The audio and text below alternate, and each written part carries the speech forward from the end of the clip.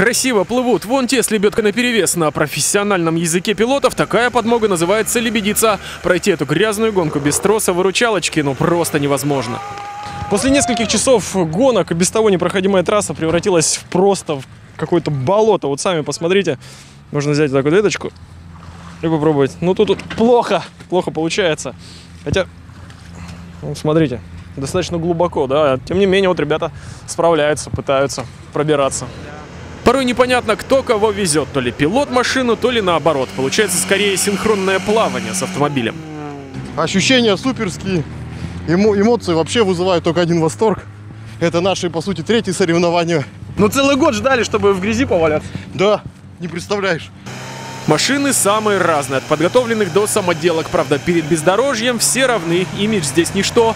Главная победа. Условие одно, как можно больше проехать кругов за отведенное время. Это 5 часов драйва, адреналина и, конечно же, грязи практически непроходимой. Пять часов. За пять часов надо построить свою тактику и суметь проехать, чтобы не сломать автомобиль, чтобы выдержать самому. Плюс трасса меняется все пять часов. Техника хоть и подготовлена, но такие марафоны все же не выдерживает. Реанимировать четырехколесных экипажам приходится, не отходя от трассы. Что сломалось?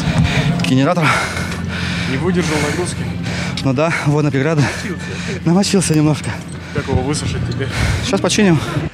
Это первые старты нового сезона. Впереди несколько месяцев непроходимого бездорожья. Благо в России таких направлений, как грязи, хватит на всех экстремалов. Кирилл Политов, Александр Антропов. Наши новости.